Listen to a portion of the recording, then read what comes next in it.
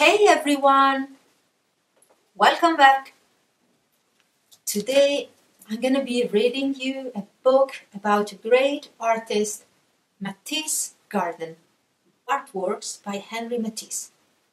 So this book has been written by Samantha Friedman and illustration are by Cristina Amodeo, MoMA edition.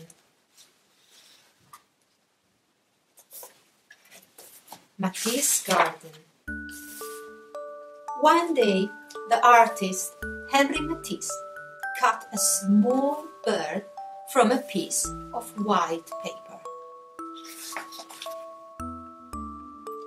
It was a simple shape, but he liked the way it looked and didn't want to throw it out. So he pinned it on the wall of his apartment to cover up the stain. The bird seemed lonely by itself, so Matisse cut out more shapes which joined the bird on the wall.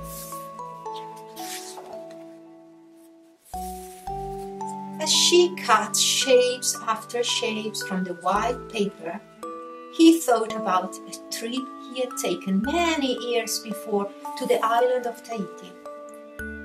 The shapes looked like the birds, fish, seaweed he had seen there. As his scissor glided over the paper, he thought about how a bird must feel when it flies. As, she, as he cut, Matisse felt like he too was flying.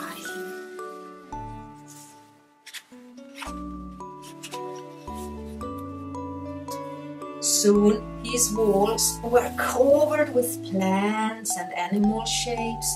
They captured the feeling of soaring and the sensation of swimming, but they didn't convey the bright blue of the sky or the deep blue of the sea. So he made a new wall, this time pinning his white forms to sheets painted azure and marine blue.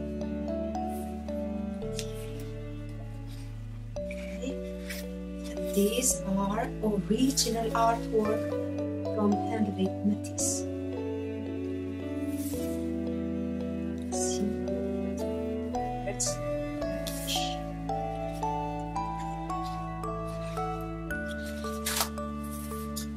When he saw how the color brought his shapes to life, he asked his assistant to paint sheets of paper in a range of shades, from vermilion to lemon to violet. Instead of using only white paper, he decided he would make his shapes by cutting directly into color. He tried a pink leaf against a background of orange and a green leaf against a background of black. He cut leaves of other hues and set them against backgrounds of every shade, experimenting with different harmonies and contrasts, the way the color played with and against each other. What counts most with colors are relationships, Matisse thought.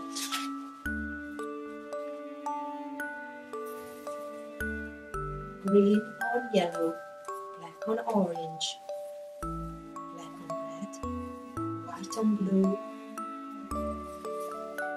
Can you do that? Can you try with color paper to cut out shapes and glue them over another color?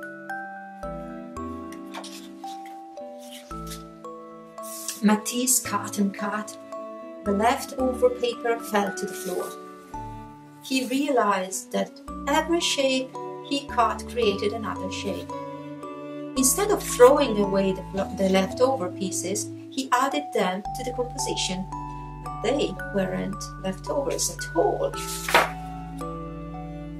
You see, those are the leftovers that turn out to be beautiful shapes in the composition.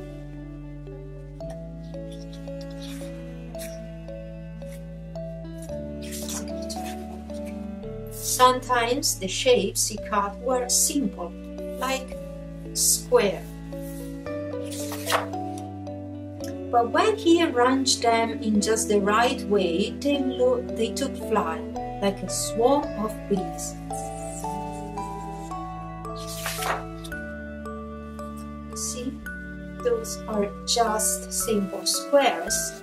Arrange them together in a swarm of bees beautiful artworks. What do you think? Do you like it?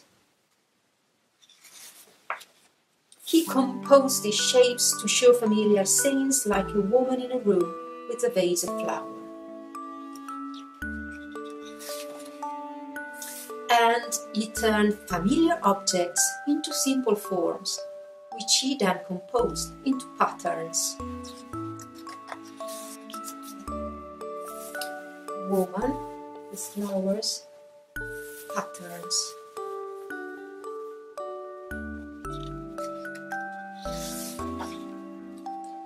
His cutouts started very small and got larger, and then larger, as large as a whole wall, until they stretched across the walls of his studio, curving around corners and covering doors. Matisse realized happily, I have made a little garden around me where I can walk. this is his garden. Imagine this um, artwork is really, really, really huge, very, very big. And for his garden, Matisse cut a small bird from a piece blue paper.